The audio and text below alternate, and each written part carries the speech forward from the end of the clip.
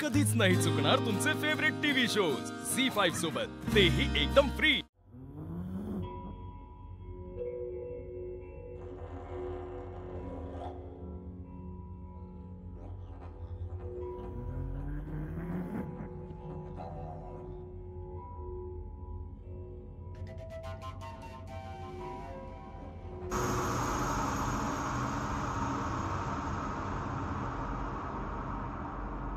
बापरे!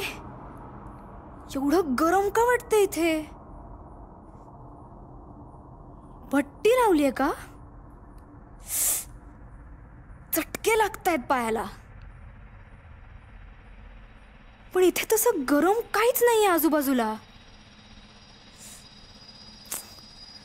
जाऊ दे. शे!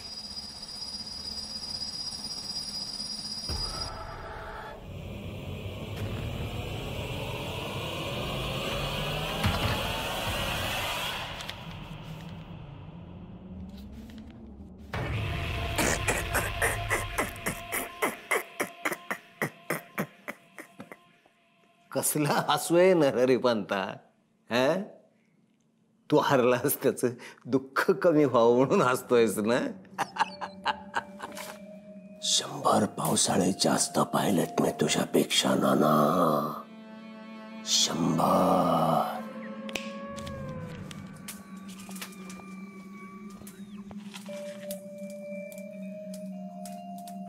चंद्रविलासनं पहिली चिंदी दिली नाना.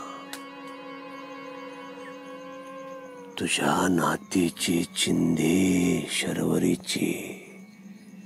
अरे चिमणी जशी एक एक गवताची काडी आणून घरट बनवते तशी तुझ्या नातीच्या कपड्याची एक एक चिंधी आणून मी दिवटी बनवणार. आणि मग त्याच्यापासून बनवणार दिवटी ती दिवटी पेटेल. आणि ती पेटलेली दिवटीच हा यज्ञ प्रज्वलित करेल.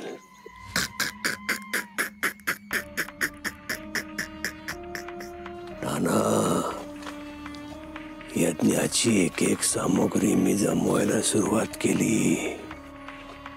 आणि ऐक नाना तिसरी घंटाई झाली बरं का?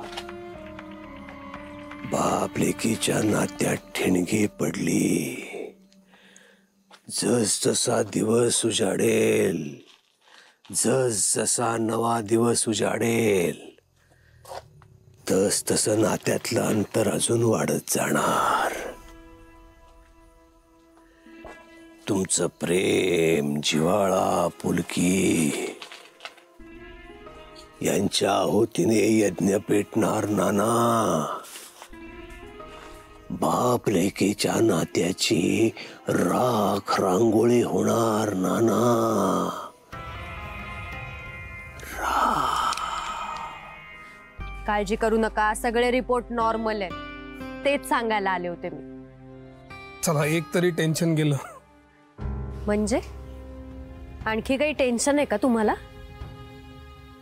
मगाशी नानांनी म्हणजे मी निघालेच होते. मेन गेटवर पोचले तेवढ्यात आरडाओरडा ऐकू आला. मागे वळून बघितलं तर नाना रेलिंगवर चढले होते. तुम्ही त्यांना थांबवलं खाली उतरवलं म्हणून बरं?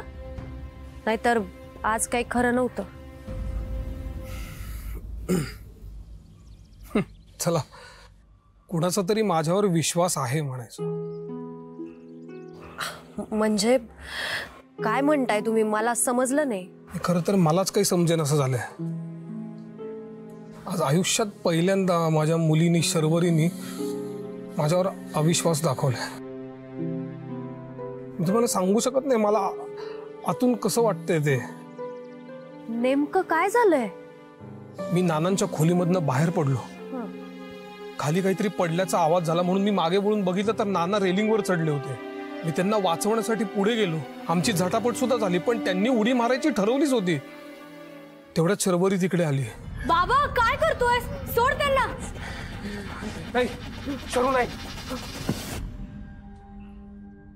तिने ती माझ्याबद्दल वेगळाच समज करून घेतलाय तिने. काय समज झाला तिचा? तिला असं वाटतं की मी नानांना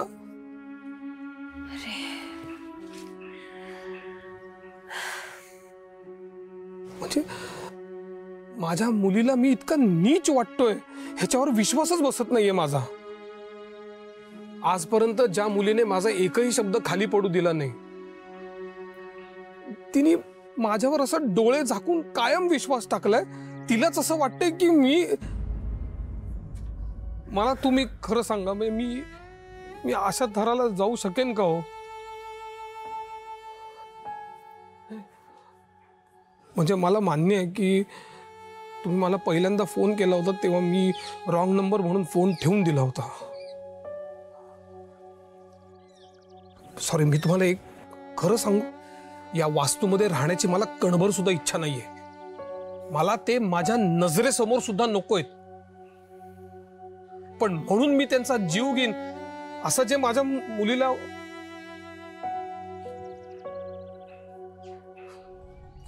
तुम्ही नका काळजी करू. सगळं नीट होईल. मी बोलू का शर्वरीशी? नाही नको. हे दोघं एकत्र येता कामा नये. गैरसमज आमच्यात झालाय आम्हीच सोडवला पाहिजे. मला तुम्ही मला फक्त रिपोर्ट दाखवू शकाल? हा. अ, एक मिनिट हा. अ,